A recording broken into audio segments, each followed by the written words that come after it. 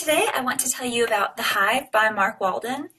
Hive is a story about a 13 year old named Otto Malpense, and he's lived in an orphanage his whole life, and he's always the smartest person in the room, so he pretty much runs the orphanage where he lives. And like a lot of smart people, he's a little bit mischievous and is known to cause trouble. So he pulls a prank, and as a result of this prank, he's kidnapped and taken to a school called The Hive, which is the Higher Institute of Villainous Education.